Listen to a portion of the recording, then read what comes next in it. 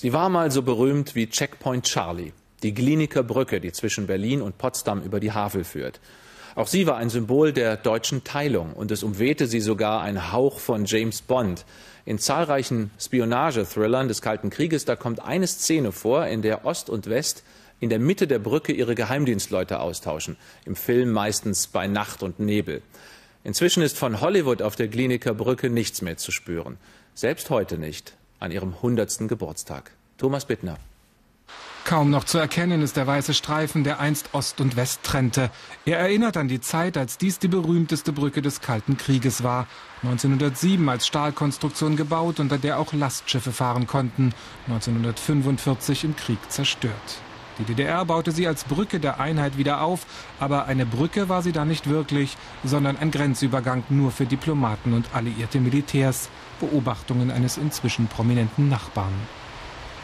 Was für uns Kinder spannend war, dass hier immer englische, französische und amerikanische Straßenkreuzer die Seite gewechselt haben, weil die Militärverbindungsmissionen, die waren hier in der Berliner Vorstadt und die nahmen diesen Grenzübergang. Und das sah natürlich für uns immer spannend aus, so große Autos zu sehen. Weltberühmt wurde sie als Agentenbrücke, wo Ost und West ihre Spione austauschten. Vieles ist Legende, nur dreimal gab es wirklich diese Agententreffen am Rand von West-Berlin.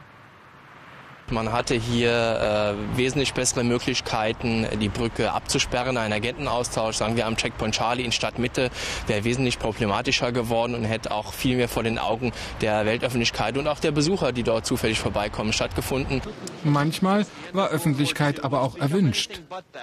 This is literally the point where east meets west. And here in the middle of Gleniker Bridge als 1986 der sowjetische Dissident Anatoli Scharansky in den Westen durfte, hatte er hier eher mit den zu weiten Hosen aus der sowjetischen Haft und dem fehlenden Gürtel zu kämpfen, als mit den Gefühlen, gab er später zu. Die Grenze für alle anderen öffnete sich im November 89, einen Tag später als in Berlin.